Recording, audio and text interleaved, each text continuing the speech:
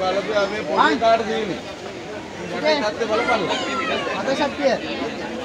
මේ තත්ත්වය බලාගනින්න. අපේ අභිමානේ බලාගනින්න මෙව්වා.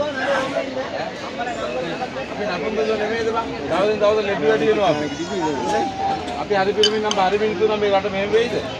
අපේ නපුන්දක බව දැකපල්ලා බං. පොඩි එකාට දැන් දිය වැඩි. ඉපදෙන එකාට දිය වැඩි ආව බං.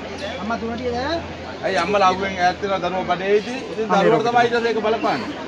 පොඩි උන්ට අද පිළිකා. ඇයි ඒ? අවුවෙන් ඈත් කළා. ගහක් එළියෙනු යවුවෙන් තිබ්බොත් මොකද වෙන්නේ? ගේ ඇතුලෙන් ගහ තිබ්බ මැරෙනවනේ. ගේ ඇතුලෙන් එළියෙනු මාරු මාරු තිබ්බොත් ගහ ගහ අඩපණයිනේ.